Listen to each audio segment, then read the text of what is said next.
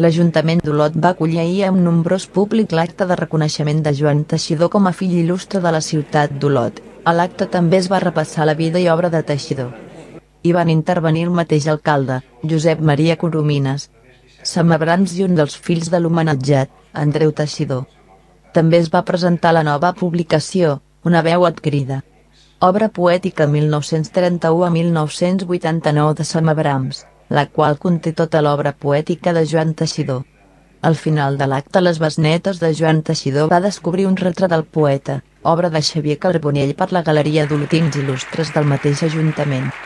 Joan Teixidor va néixer a Olot el 1913 i va morir a Barcelona el 1992, poeta, assagista, articulista i autor, llicenciat en Filosofia i Lletres a Barcelona, alumne i amic de Carles Riba o Josep Rubio i Ors, Teixidor publica el seu primer poemari als 19 anys, Poemes 1931, d'inspiració avantguardista.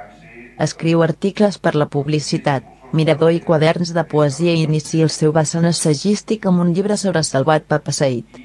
La Guerra Civil l'aparta de les lletres momentàniament. A 1942 funda, amb Josep Vergés, l'editorial Destino. A 1948 reprèn l'activitat poètica amb Camí dels Dies i el 1954 publica El Príncep, inspirat en la pèrdua d'un fill.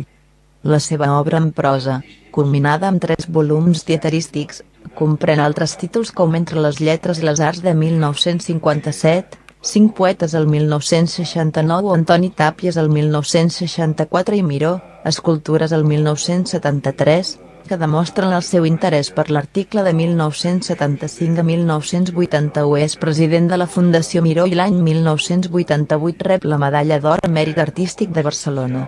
A 1989 trenca un silenci poètic de molts anys en Fluvià, el seu testament poètic,